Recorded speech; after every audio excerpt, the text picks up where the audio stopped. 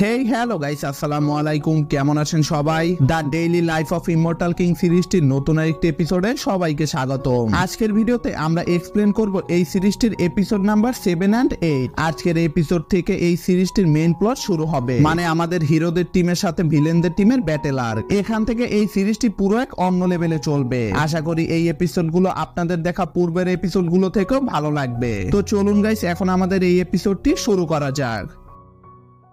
তো এই এপিসোডটি শুরুতেই আমরা দেখতে পাই জুকান আরেকটি টিচারকে স্পিরিচুয়াল পাওয়ারের লিডার বোর্ড দেখাচ্ছিল। যেখানে ওই টিচারটি যার নাম হলো প্যান সে তো এই লিডার বোর্ডের টপে ওয়াংলিং কে দেখে পুরো শক্ট হয়ে যায়। কারণ তার জানা মতে ওয়াংলিং তো অনেক দুর্বল একটি স্টুডেন্ট জুকান বলে, আমাদের সৃষ্টি ফাংশন স্কুলে দুজন স্টুডেন্ট টপ টেন লিস্টে আসার কারণে আমাদের স্কুলের এভারেজ স্কোর অনেক বেড়ে গেছে। যার কারণে সামনের হাই স্কুলের টুর্নামেন্টে আমাদের ফার্স্ট রাউন্ডের ম্যাচই ফিফটি নাইন ফাংশন স্কুলের সঙ্গে পড়েছে।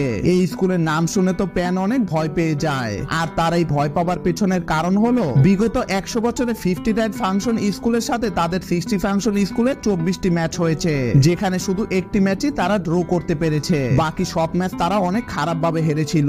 ওই একটি ম্যাচ ড্র হয়েছিল কারণ ওই বছর এই স্কুলে জুয়ো ছিল। ভাই রে ভাই, আমি তো ভেবেছিলাম এই স্কুলে হয়তো অনেক পাওয়ারফুল স্টুডেন্টরা রয়েছে। কিন্তু এখন তো দেখছি এই স্কুল অন্য সব স্কুলদের সামনে কিছুই না। যাই হোক, এরপর সিন চেঞ্জ হয়ে আমাদেরকে ওই ফিফটি নাইন ফাংশনের স্কুলটি দেখানো হয়। যারা অলরেডি ওই টুর্নামেন্টের জন্য ট্রেনিং শুরু করে দিয়েছিল। এই টুর্নামেন্টে সবাইকে তলোয়ার দিয়ে লড়াই করতে হবে। এজন্য সবাই যার যার তলোয়ার নিয়ে বিভিন্ন রকমের ট্রেনিং করছিল। এখানে লিডার বোর্ডে দুই নম্বরে থাকা ওই স্টুডেন্টটিও ছিল। এনার নাম হলো ট্যাং। তো এখন থেকে আমরা তাকে এই নামেই ডাকবো। যাই হোক, একজন সাংবাদিক ট্যাংকে তাদের প্রিপারেশন কেমন চলছে এটা জিজ্ঞাসা করলে ট্যাং অনেক কনফিডেন্টের সঙ্গে বলে যে তারা এই টুর্নামেন্টের জন্য যান জীবন দিয়ে ট্রেনিং করছে। তাদের কম্পিটিটরে যেই টিমই থাকুক না কেন।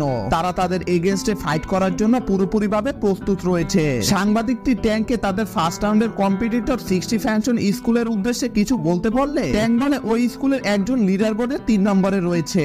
আশা করি ওদের সঙ্গে আমাদের মোকাবেলা অনেক হাড্ডাহাড্ডি হবে। সুংগ্রামরা এই ইন্টারভিউটি টিভিতে দেখছিল। তো সাংবাদিকটি ট্যাংকে লিডার বোর্ডের এক নম্বরে থাকা ওয়াংলিং এর ব্যাপারে কিছু বলতে বললে, সে এই বিষয়ে কিছু না বলে সেখান থেকে চলে যায়। এদিকে এই টুর্নামেন্টের জন্য জুকাংরা তাদের স্কুল থেকে একটি টিম মেক করেছিল।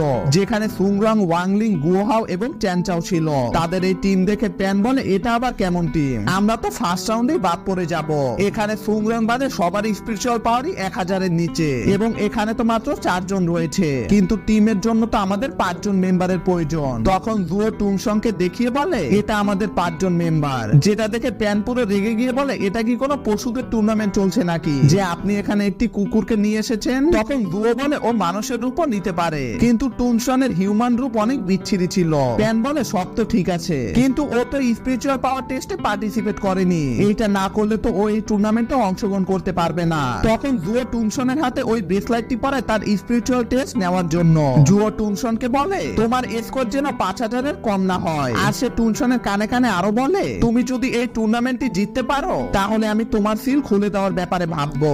যেটা শোনার সাথে সাথে টুনসন সই পাঁচ হাজার স্কোর করে। লিডার বোর্ডের নাম্বার দুইয়ে এসে পড়ে। আর আবারও কেউ একজন ট্যাঙ্কে ছাড়িয়ে গেল, এটা দেখে তো ট্যাঙ্কের মাথা পুরো নষ্ট হয়ে যায়। এদিকে জুয়োরা তাদের এই টিমটিকে টুর্নামেন্টের জন্য কনফার্ম করে ফেলে। তো এরপর সিন শিফট হয়ে রাতের দৃশ্য দেখানো হয়, যেখানে যে যার বাসায় যার যার মতো কাজ করছিল।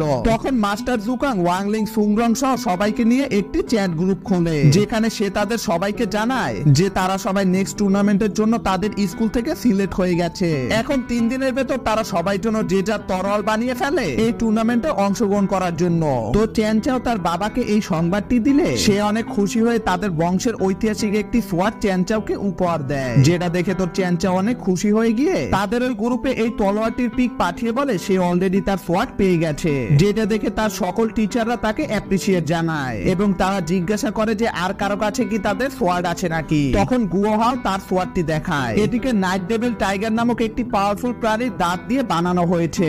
এটা তার কাছে আট বছর ধরে আছে। তো এরপর সুংরংকে তার তলোয়ার দেখাতে বলা হলে সুংরং সোজা ভিডিও কলে এসে তার ওই ঐতিহাসিক তলোয়ারটি দেখায়। সবাই তো সুংরং এর এই তলোয়ারটি দেখে পুরো ইমপ্রেস হয়ে যায়। সুংরং বলে, এই তলোয়ারটির কিছু হয়ে গেলে আমার কাছে এরকম আরও তলোয়ার রয়েছে। আর আমরা দেখতে পাই সুংরং এর কাছে তো তলোয়ারের একটি পুরো ফ্যাক্টরি রয়েছে। মানে টাকা পয়সা বেশি থাকলে যা হয় আর কি। যাই হোক, এরপর ওয়াংনিং এবং টুংসনকে তার তলোয়ার দেখাতে বলা হলে গুয়াহা বলে তোমরা টুংসনকে কেন তার তলোয়ার দেখাতে বলছো? ওর মতো কুকুরের কাছে তলোয়ার তলোয়ার কোথা থেকে আসবে?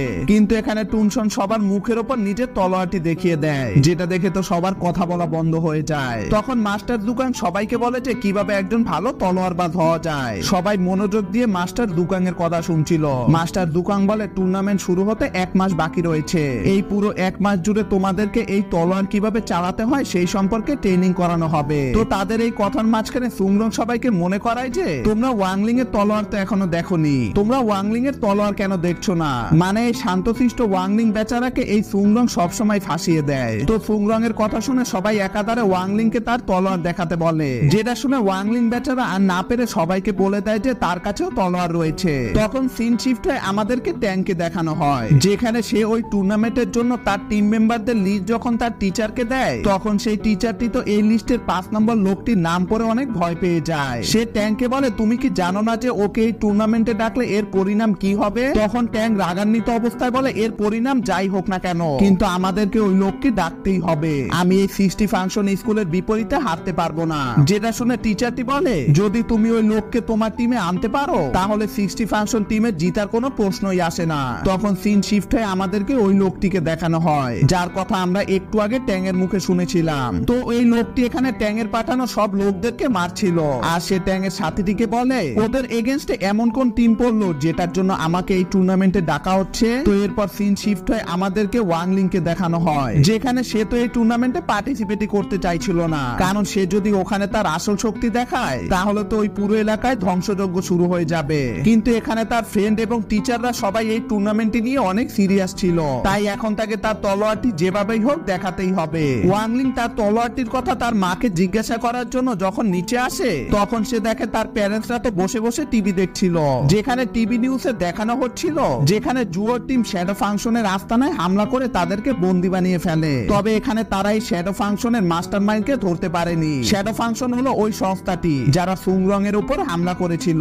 তো ওয়াংলিং এর প্যারেন্টস এর এই নিউজটি দেখা হলে ওয়াংলিং তাদেরকে জিজ্ঞাসা করে যে তার তলোয়ারটি কোথায়? কিন্তু এখানে তাদের তো কোনো তলোয়ারের ব্যাপারে মনেই ছিল না। যেখানে ওয়াংলিং নিজে স্টোর রুমে চলে আসে তার তলোয়ারটিকে খুঁজতে। ওয়াংলিং একটি বক্স খোলার সাথে সাথে সেটার ভেতর থেকে একজন বেরিয়ে বলে, দশ বছর পর আপনার সাথে আমার আবারও দেখা হয়ে গেল, মাস্টার। যেটা দেখে ওয়াংলিং তাকে ঠেলে আবার ওই বাক্সের ভেতর পাঠিয়ে দেয়। কিন্তু তখনই আমরা ওয়াংলিং এর ঘাড়ে কিছু একটা জ্বলতে দেখতে পাই। এটার ব্যাপারে আপনারা একটু পরে জানতে পারবেন। তো এরপর সিন চেঞ্জ হয়ে আমাদেরকে পরের দিনের দৃশ্য দেখানো হয়। যেখানে ওয়াংলিং তার তলোয়ার দেখালে সবাই তো এটিকে দেখে হাসাহাসি করছিল। তখন তাদের টিচাররা এসে তাদেরকে জানায় যে তাদেরকে এখন ফিফটি নাইন ফ্যাকশনের ট্রেনিং গ্রাউন্ডে নিয়ে যাওয়া হবে। ওয়াংলিং প্ল্যান বানিয়েছিল যে সে এখানে এসে পেট ব্যথার নাটক করে এখান থেকে চলে যাবে। কিন্তু সে এটা করার কোনো সুযোগই পায় না। তখনই আমরা দেখতে পাই শ্যাডো ফ্যাকশনের বস সুংরং এর উপর নজর রাখছিল। যেহেতু তারা জানে যে প্রতিবার দুও সুংরংকে বাঁচিয়েছে, তাই এইবার শ্যাডো ফ্যাকশনের বস দুওকে তার রাস্তা থেকে সরানোর জন্য একটি প্ল্যান বানায়। যেটি হলো সে তার মতো দেখতে একটি রোবটকে জুওদের হেডকোয়ার্টারে পাঠাবে। এই রোবটটির ভেতরে এক বিশেষ ধরনের টাইম বম সেট করা রয়েছে। কিন্তু তখনই সেই বোমটি ব্লাস্ট করবে আর জুও এবং তার সকল টিম মারা যাবে। এদিকে ওয়াংলিং যখন গাড়িতে ঘুমাচ্ছিল। তখন সেই বাচ্চাটি তার শরীরের এক এক জায়গা থেকে বের হয়ে আসতে থাকে। আর ওয়াংলিং তাকে চেপে তার শরীরের ভেতর ঢুকিয়ে রাখতে থাকে। এটি সেই বাচ্চাটি ছিল, যাকে আমরা ওয়াংলিং এর স্টোর রুমে দেখেছিলাম। এই বাচ্চাটি হলো ওয়াংলিং এর তলোয়ারের আত্মা। যাই হোক, একটু পর তারা ফিফটি নাইন ফাংশনের ট্রেনিং গ্রাউন্ডে এসে পড়ে। ফিফটি নাইন ফাংশনের টিচার এবং ওয়াংলিং দের টিচার এক সময় ভালো ফ্রেন্ড থাকলেও তারা যেহেতু একজন অপরজনের কম্পিটিটর, তাই তারা একজন এক একজনকে ইনডাইরেক্টলি বিভিন্ন কথা ধরে অপমান করতে থাকে। এদিকে ওই শ্যাডো ফ্যাকশনের বস সুংরংকে মারতেই আসছিল। তখনই ফিফটি নাইন ফাংশনের টিচার ওই টিচারকে অপমান করার জন্য ওয়াংলিং এর স্পিরিচুয়াল পাওয়ার দেখার জন্য তার উপর একটি টেকনিক ইউজ করে। আর ওয়াংলিং এই বাহানায় অসুস্থতার নাটক করতে থাকে। ওয়াংলিং অজ্ঞান হওয়ার ভান করে নিচে পড়ে যায়। কিন্তু তখনই ওয়াংলিং এর তরোয়ালের আত্মাটি ওয়াংলিং কে বলে, আপনার তাবিজে সিল ছুটে যাচ্ছে। আসলে ওয়াংলিং এর অসীম স্পিরিচুয়াল পাওয়ারকে দাবিয়ে রাখার জন্য তাকে একটি বিশেষ তাবিজ দেওয়া হয়েছিল। কিন্তু তার তলোয়ার এবং তাবিজটি পাশাপাশি হবার কারণে এটি সিল ছুটে যায়। এজন্য স্টোর রুমে আমরা ওয়াংলিং এর ঘাড়ে কিছু একটা জ্বলতে দেখেছিলাম। যাই হোক, এদিকে ওয়াংলিং এর স্পিরিচুয়াল পাওয়ারে সেখানে এক মারাত্মক শক্তির উৎপন্ন হয়। ওয়াংলিং ওই আত্মাটিকে বলে, তুমি আমাকে এটা আগে বলনি কেন? তখন সে বলে, আমি তো বারবার এটা বলার জন্য বের হচ্ছিলাম। কিন্তু আপনি তো আমাকে কিছু বলতে দেননি। এদিকে ওই শ্যাডো ফ্যাকশনের বস বুঝে যায় যে সুংরং এর কাছে এমন কেউ রয়েছে, যার কাছে অসীম শক্তি আছে। তখনই তাকে একজন কল করে বলে, মাস্টার, আমাদের প্ল্যান ফেল হয়ে গেছে। আর আমরা দেখতে পাই জুয়ো ওই বমের রোবটটিকে সঠিকভাবে শনাক্ত করে, সেটাকে ডিঅ্যাক্টিভেট করে দেয়। তো শ্যাডো ফ্যাকশনের বসটি বলে, আমাদেরকে আবারও নতুন একটি প্ল্যান বানাতে হবে। এদিকে আমরা দেখতে পাই ট্যাংয়ের বলা সেই রহস্যময় লোকটি দূর থেকে ওয়াংলিংকে দেখছিল। আর এরই সাথে আজকের এপিসোডটি শেষ হয়ে যায়। তো পরের এপিসোডটি দেখতে চ্যানেলটিকে সাবস্ক্রাইব করে বেল আইকনটিকে অন করে রাখতে পারেন। দেখা হচ্ছে পরের ভিডিওতে। ততক্ষণ পর্যন্ত till then take care and আল্লাহ হাফেজ গাইস